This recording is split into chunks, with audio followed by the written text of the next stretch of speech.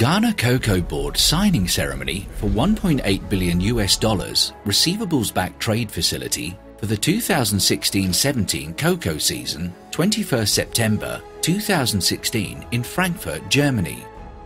The Chief Executive of Ghana Cocoa Board, Dr. Stephen Kwabena Opuni, and senior management of COCOBOD and its subsidiary Cocoa Marketing Company, CMC, were in Frankfurt, Germany to sign their annual receivables backed pre export trade finance facility for 2016 17. The amount raised this year was 1.8 billion US dollars.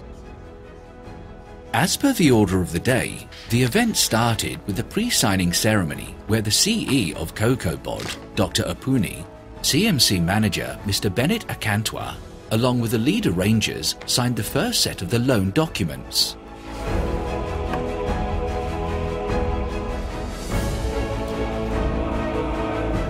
It's the first time in 24 years that we're actually having the signing of this uh, uh, here in Germany. Dr. Markus Schenck, the Group Chief Financial Officer at Deutsche Bank, called the main ceremony into action by welcoming all and introduced the Chief Executive of COCOBOD to address the gathering. I'm highly delighted to address such a distinguished group of people during the signing ceremony for the 1.8 billion US dollar receivable trade finance facility for 2016-17 cocoa season. Dr. Stephen Kwabena Opuni in his speech thanked the banks for making the facility available to COCOBOD for the 24th year running despite the challenges facing the world cocoa industry. The chief executive went further to assure the banks that Ghana Cocoa Board, with support of government, is making frantic efforts to support cocoa farmers to address these challenges. Dr. Opuni said the board is supporting cocoa farmers to improve upon soil fertility of their cocoa farms through the free fertilizer distribution program. Apart from this, Cocoa Board through our extension officers teach our farmers to adhere by good agronomic practices. And we also educate our farmers on methods of early detection of the shoot, cocoa shoot virus that affect cocoa farmers. Ladies and gentlemen, as part of our efforts to improve upon productivity, Cocoa Board is providing free hybrid seedlings to our farmers. Last year, we provided 50 million seedlings free of charge. And this is equivalent to about 42,000 hectares of cocoa farm. This was given freely to our farmers. This year, we've already given 57 million free hybrid seedlings, and in all, we're going to give 60 million free hybrid seedlings. This will be equivalent to 50,000 hectares of cocoa farm, and we're going to continue with the 60 million free hybrid seedlings to our cocoa farmers every year. This government and cocoa policy. This is what we need to do to support our farmers to sustain productivity. To mitigate the effects of climate change, Board is collaborating with the Forestry Commission of Ghana and the Ministry of Land and Natural Resources to promote agroforestry systems. Agricultural farmers are also being educated to engage in environmentally friendly practices on their farms. Following the speeches, Mr. Geoffrey Wynne, head of Trade and Export Finance Group at Sullivan and Worcester London office, the legal representative for COCOBOD, invited COCOBOD and the banks to commence the signing of the loan facility. The fully underwritten facility was arranged by Bank of Tokyo Mitsubishi UFG Limited, Deutsche Bank AG, Natixis, Nedbank Limited, acting through its London branch, Nedbank, Cooperative Rabobank UA, Rabobank, Societe Generale and Standard Chartered Bank, Together, the coordinating initial mandated lead arrangers, or co-IMLAs, with the cooperation of DZ Bank AG, Deutsche Zentralgenossenschaftsbank, Frankfurt am Main, together with the co-IMLAs, the book runners, and Ghana International Bank PLC, the initial mandated lead arranger, or the IMLA, together with the co-IMLAs and book runners, the Arranger Group. The Arranger Group was joined in senior syndication by Bank of China, Credit Agricole Corporate and Investment Bank, Intesa San Paolo, Dubai branch, Rand Merchant Bank, a division of First Rand Bank Limited, Sumitomo Mitsui Banking Corporation, ABN AMRO Bank NV, and KfW IPEX Bank GmbH as senior mandated lead arrangers, and joined subsequently in general syndication by Standard Bank Group, State Bank of India, Mizuho Bank, Barclays, Attijariwafa Bank Europe, EcoBank Ghana, and Fidelity Bank. Present to witness the signing was a Government of Ghana delegation led by the Deputy Minister for Finance, Honourable Ato Forson, and the Ghana Ambassador to Germany, Her Excellency Akua Sena Dansua. Also present from COCOBOD was the Deputy Chief Executive for Finance and Administration, Mrs. Myriam Okwabi, Director Finance, Mr. Charles Dodu, Director Legal Services, Mr. Clote Sefa, and Manager CMC UK, Mr. Musa Lembuni.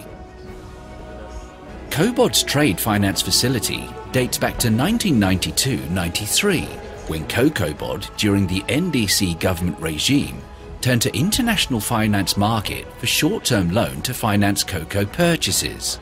This was necessitated at the time as the board could not raise finance locally due to increases in production of the crop and the central bank's inability to raise such amounts. The amount raised is usually payable within 11 months and is secured on forward sales contracts on cocoa beans to be produced in the coming cocoa crop year. The forward sales strategy also ensures stable income for the farmer and supports national revenue planning.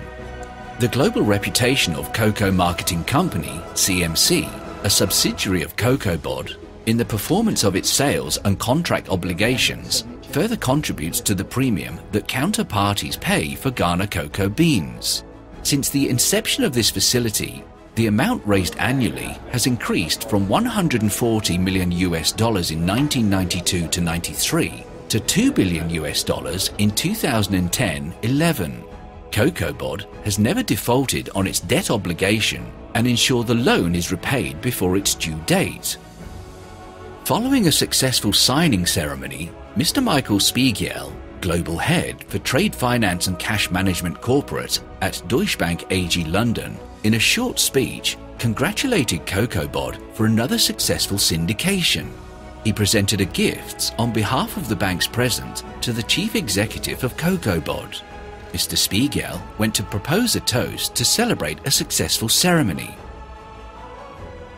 We are pleased to say that we've been in this with COCOBOD for 24 years. Congratulate them. It's an excellent management team, and uh, we look forward to working with them in the years to come.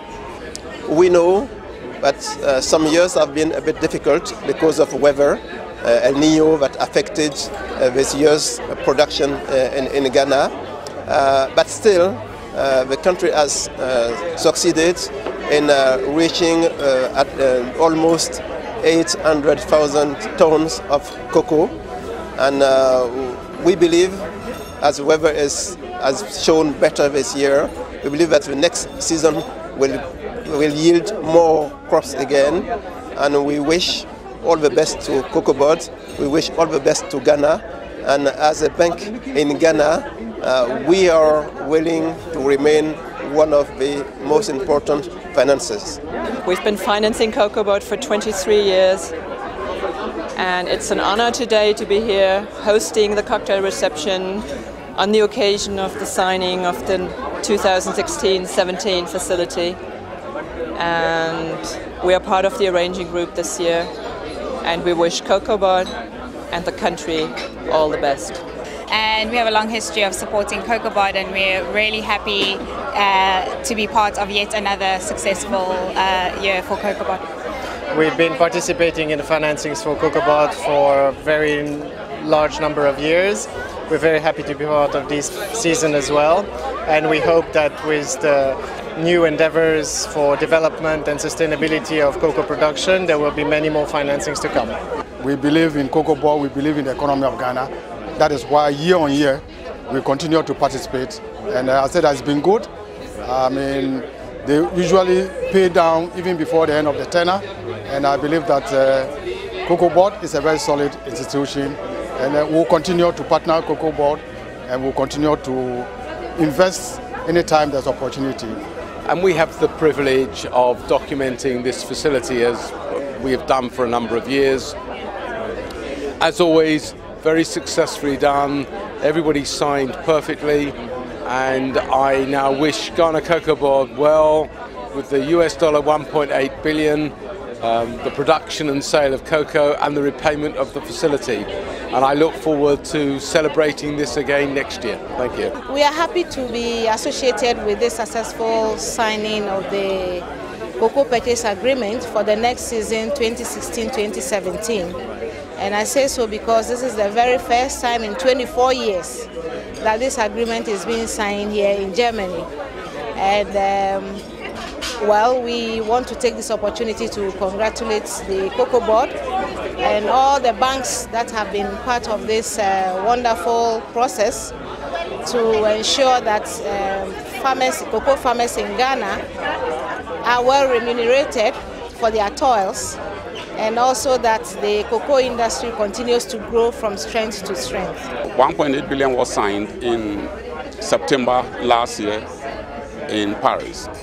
By April this year, the banks, because of the confidence they have in Cocoa Board, they gave us additional 200 million because there was extra cocoa to be bought, making up 2 billion. And I'm proud to say that we have paid all the 2 billion US dollars that we took from the banks last year. Today we've signed 1.8 billion US dollars. If along the line we think we have more cocoa during the 16-17 season, we will ask the banks for more money. But in the meantime, we signed for 1.8 billion, 1.8 billion US dollars. This will ensure that the Ghanaian cocoa farmer will be promptly paid uh, for their produce because this loan is basically for the purchase of cocoa. And uh, as I said, Ghana Cocoa Board has never defaulted in the loan repayment and we're going to work hard to ensure we repay this loan on schedule, so we remain um, one of the most credible borrowers in sub-Saharan Africa. Um, last year, because of the severe harmattan that we experienced from December 2015 till March 2016, um, initially our crop was good, but because of the harmattan later, um, it was badly affected by the weather conditions. However, we almost were able to make our target. We are targeted to buy 850,000 metric tons during the 15-16 cocoa season, but we are just around around 80,000 metric tons. Um, this is not bad. We will have made more had it not been for the bad uh, weather. The rain started this year early. By end of March, it has started. Cocoa Board was able to support the farmers with a free fertilizer program farmers got their fertilizer early enough and started applying it. It coincided with the rainfall. So we're confident that our target of 850,000 to 900,000 metric tons for the 16-17 will be able to achieve that. Um, the rains have started again. There was a break for two months, July and uh, August. Um, now it's raining heavily again in Ghana, especially in the cocoa growing areas. And uh, we are hopeful and we pray that this year the weather will continue to be good so we're able to achieve our target. And uh, we, as Ghana Cocoa Board, with the support of the government of Ghana, will continue to support our farmers with a free fertilizer distribution program, free mass spraying. And also, I mentioned in my speech, we're supporting the farmers with free hybrid seedlings. These are high yielding seedlings, and then it takes two years to, to, to, to, to, to produce the, the, the, the cocoa. So we are hoping that come five years, we'll be able to cross 1 million metric tons. We don't want to see a generation gap in cocoa farming.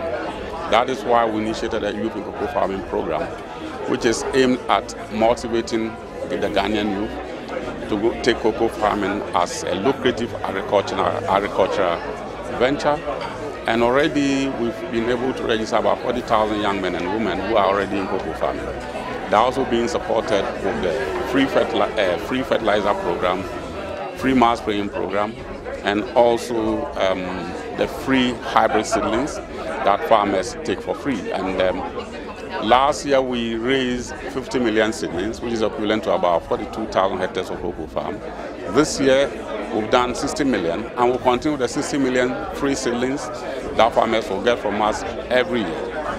And if we do that annually for the next 10 years, we're going to um, add about 500,000 hectares of cocoa, new cocoa farm because each 60 million cylinder we do is equivalent to 50,000 hectares of farm. If we do that for 10 years, we're going to have about 500,000 hectares of farm, and um, which means that after 10 years, if each hectare is producing about um, one ton to 1.5 tons per hectare, then we're going to have about 500,000 to 750,000 metric tons of cocoa.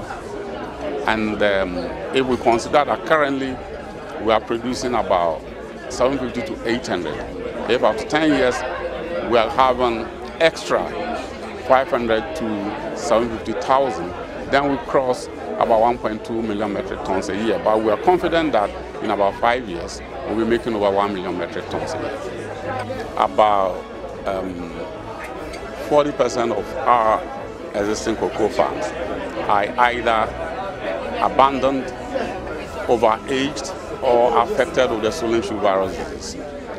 So if we consider the fact that about 1.8 million hectares of land is being used for cocoa farming, and about 40% of that is affected with the swollen shoot virus or the cocoa farm is overaged, I think the youth can take advantage of that.